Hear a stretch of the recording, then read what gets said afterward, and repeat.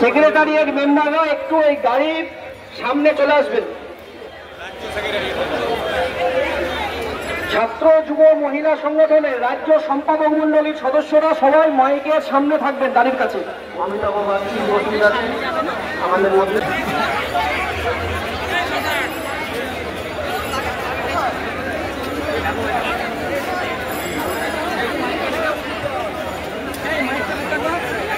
সম্রাট!